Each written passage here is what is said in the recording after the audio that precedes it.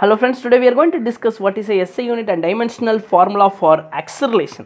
Acceleration is the rate of change of velocity. So acceleration is equal to velocity by time.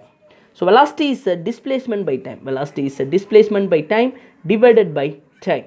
So displacement, the unit of displacement is the meter. The unit of time is a second. Again we have the time second. So we'll get as a meter by second square.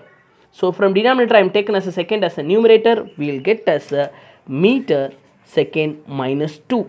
It is a SI unit. SI unit is follows the meter kilogram second MKS system. Okay. Meter second minus 2 is a SI unit of acceleration. What about the dimensional formula? For length we can take it as a L.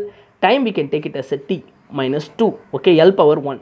There is no mass. Mass we can take it as a 0. M L T okay dimensional formula. M is not there mass is not there so power will be 0 length is power 1 time is there it is t power minus 2 okay? So dimensional formula lt minus 1 uh, SI unit is a meter second minus 2 okay? If you like my channel please subscribe. Thank you everyone